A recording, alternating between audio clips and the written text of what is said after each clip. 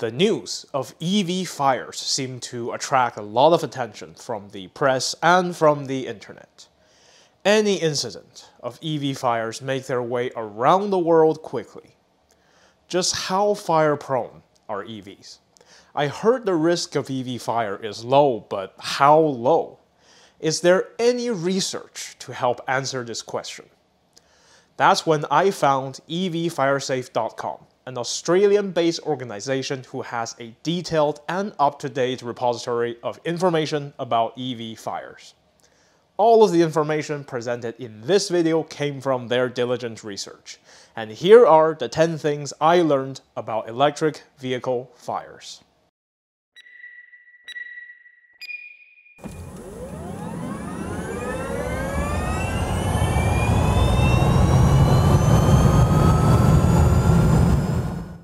Let's kick off our exploration with the big picture.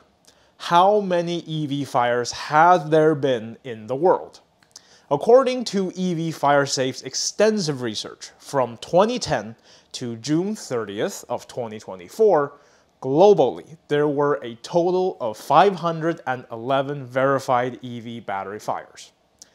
This number needs to be considered in the context that there are an estimated 40 million EVs on the road. I think it is an uncontroversial conclusion that the number of EV battery fires is small compared to the number of EVs. There was a spike in battery fires in 2021 and 2022, coinciding with the battery manufacturing defects involving the Chevy Bolt and the Hyundai Kona. The number of fires decreased in 2023 due to the recalls and replacement of the defective batteries. How to tell an EV from an ICE vehicle? If you come across a vehicle on fire, how do you know that it is an EV? While EV enthusiasts may be able to identify an EV with ease, the same cannot be said for the general populace or firefighters. EV FireSafe offers valuable guidance on identifying EVs at the scene. The primary way to identify an EV include asking the driver, checking the license plate, since in many jurisdictions EVs have special license plates, checking for any external badge that identifies the vehicle as EV or PHEV, and looking for signs of any orange high voltage conduits and stickers that identify high voltage components. The secondary ways to identify an EV include QR codes visible from the windshield or doorframe, lack of a front grille, lack of a tailpipe, and presence of a charge port. It is also important to note that not every EV on fire involves a battery fire fire could occur in other parts of the vehicle. Take, for instance, a Model Y incident in Vancouver, where the fire originated from the dashboard area and was unrelated to the high voltage battery.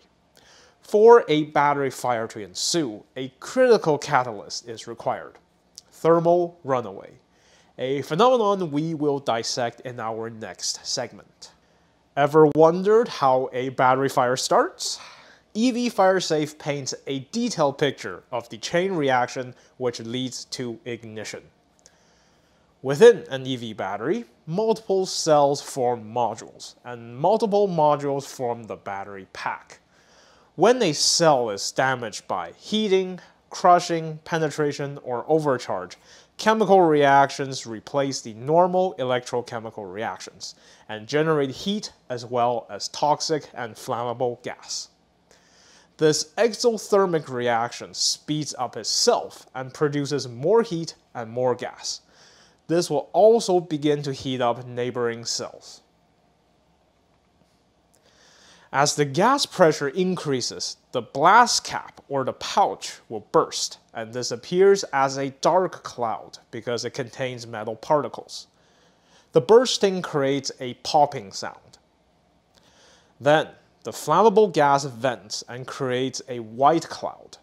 As the gas starts to vent, there is a hissing sound. As oxygen mixes with the vapors of flammable gas on top of the heat being produced, ignition could occur.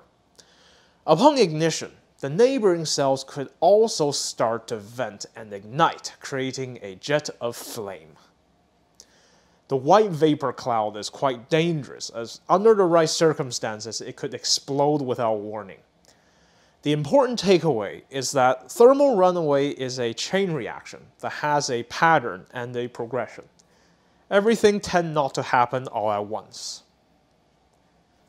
What causes battery fires in EVs? EV FireSafe pinpoints four primary culprits. First on the list, collisions or encounters with road debris. The battery pack's integrity may be compromised, setting the stage for potential fires. Second, submersion in flood water for hours to days emerged as another perilous scenario, particularly in coastal regions where saltwater corrosion poses a threat to the battery. Battery recalls are the third cause. As EVs await repairs, they are at risk of fire. External fires, whether from building blazes or bushfires, is the fourth cause. External fire can encroach upon the battery pack from below or reach the pack by burning through the vehicle's body. Does charging increase the risk of EV battery fires? According to EV FireSafe, charging an EV does not heighten the risk of battery fires. EV FireSafe's meticulous research reveals that 18 to 30%, a minority of battery fires, occur during or within one hour after charging. For comprehensive guidance on combating battery fires while a vehicle remains connected to the charger, visit EV FireSafe's website for more detailed information. Let's juxtapose the distinctive characteristics of EV battery fires and conventional internal combustion engine fires. The website has a long list. I will only discuss the ones that I found interesting. For starters, EV's quiet nature poses a challenge for firefighters accustomed to discerning engine sound of the ICE vehicles. Additional precautions need to be taken to ensure that an EV does not move unexpectedly. EV fires and ICE fires tend to burn at the same temperature, and there is a misconception that EV fires burn hotter than ICE fires. When a battery fire occurs, it is important to have water directed at the bottom of the vehicle since that is where the battery pack sits. This is different than fire suppression in an ICE vehicle. The amount of water required to put out an EV battery fire could be significantly higher than ICE fires. ICE fires tend to take around 4,000 liters. EV fires takes 10,000 liters on average, with some cases using up to 100,000 liters. Understanding these distinctions is pivotal for executing effective firefighting strategies. Is there a risk of electrocution from EV batteries? When you are dealing with an EV following a collision, people often think about risk of electrocution. EVs are designed with mechanisms in place to automatically disconnect the high voltage battery when the airbags deploy.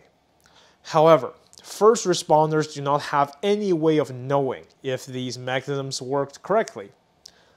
Many EVs have cables or mechanisms that first responders can either detach or cut to disconnect the high voltage battery manually. There is a big difference in electrocution risk between AC and DC power. AC current goes in both directions, and if you are holding one side of the circuit, the current will go through your body to find ground. For DC power, it only goes in one direction. In order to be electrocuted, you need to be touching both ends of the circuit. EV batteries, of course, deliver DC power. Throughout their research, EV FireSafe had not found any verified incidents where emergency responders have been electrocuted or nearly electrocuted from a direct stream of water onto a burning EV, submersion in a body of water, cutting into an EV during road rescue, or from stranded energy.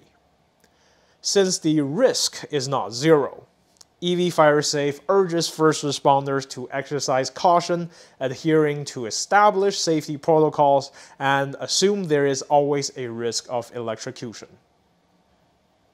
What are the different methods of fire suppression? Before doing the research, I thought the only way to extinguish a battery fire is by pouring water on it. However, there are actually three methods of fire suppression. The first method is to cool. This is to use water to knock down any fires and keep the battery pack temperature down and reduce risk of thermal runaway. The second method is to burn.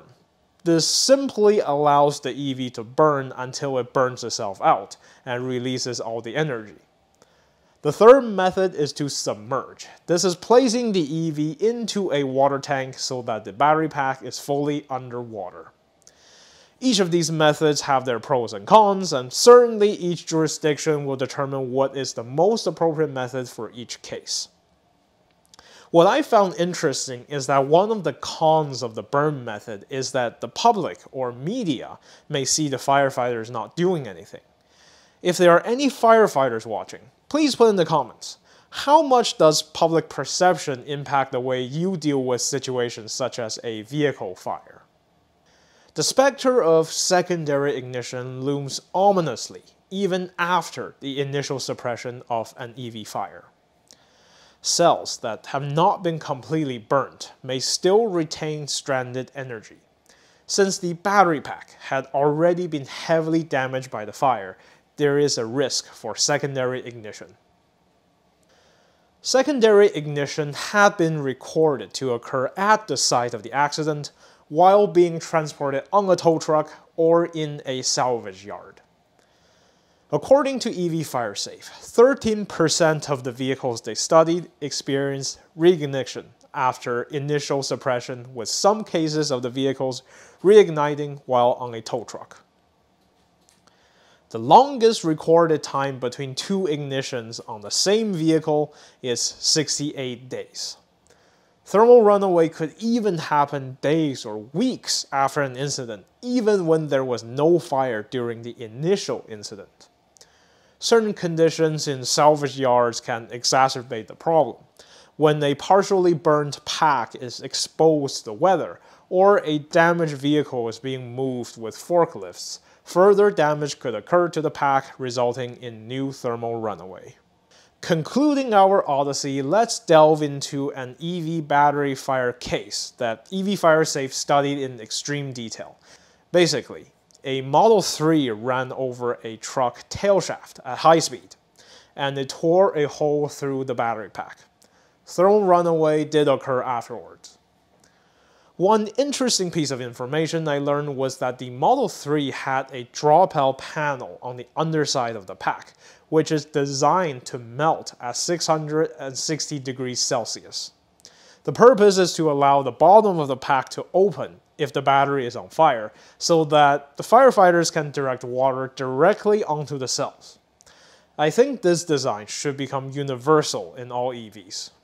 Thank you for watching this video and I hope you learned a lot of valuable data-driven information about EV battery fires.